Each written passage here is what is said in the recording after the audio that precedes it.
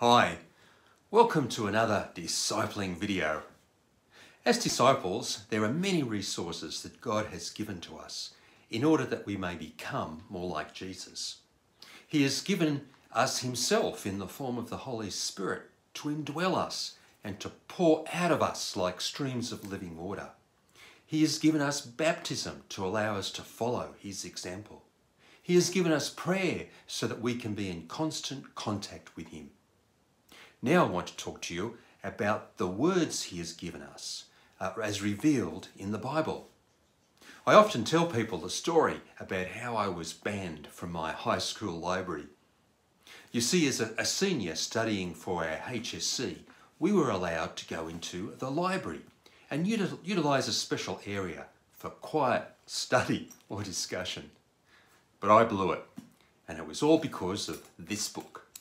You see, I, came into the library, sat with the other seniors, and then said, Psst, guys, do you want to see my book? Why would we want to look at your book, Siers? Cause I said, it's the most banned book in the world. In fact, in, in some countries, if they find you with this book, it could mean the death sentence. There are some people who'll do anything to stop us reading this book. And you know what? I've got one with pictures.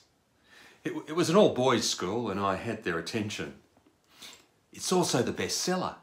In fact, according to the Guinness Book of World Records, it is the best selling book of all time, selling over 6 billion copies. Which isn't surprising when you consider that it was the first book ever to be printed on the very first printing press in the West. So show us the book, they said. But I've also got to tell you, it is the most translated book in the world, being translated into over 600 languages. It's also the most quoted book in history. Yes, even Shakespeare quotes this book.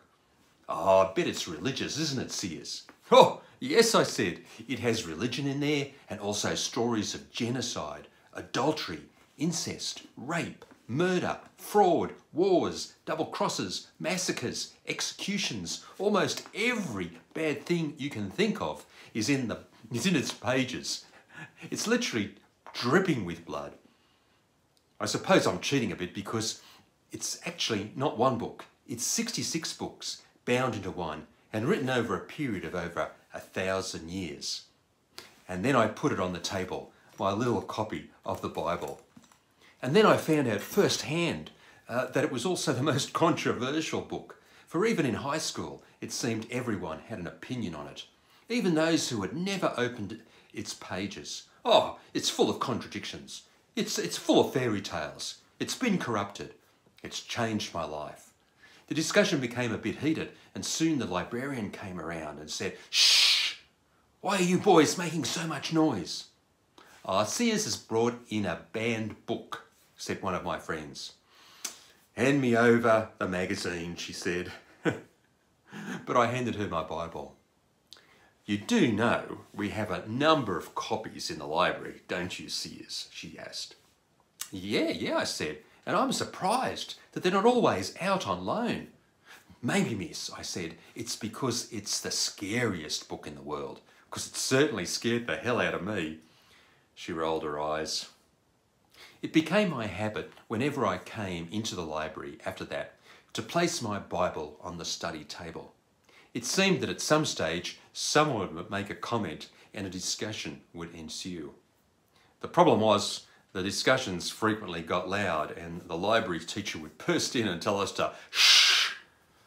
Ultimately, she took me aside and, and told me that I was causing too much of a disruption and that she was banning me from the library.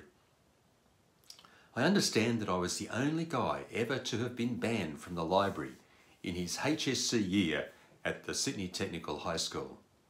Yes, this book, it's controversial but it's also influential.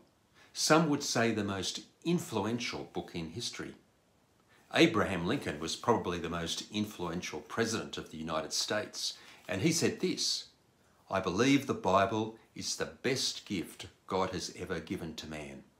All the good from the Saviour of the world is communicated to us through this book.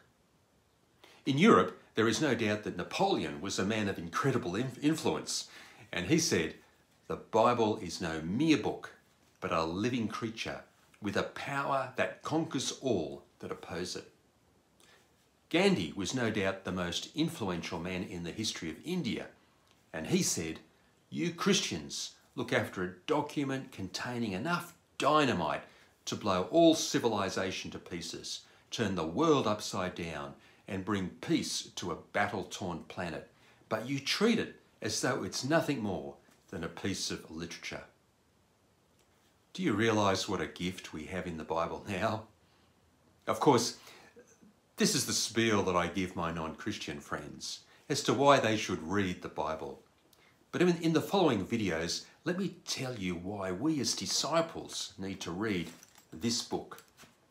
Over the next few days, let's see how the Bible can help us be disciples. Have you had any discussions about the Bible with your friends? Tell me about it in the comments below, as well as any prayer requests you have. And I'll, I'll see you in the next video. God bless, and oh, read the Bible.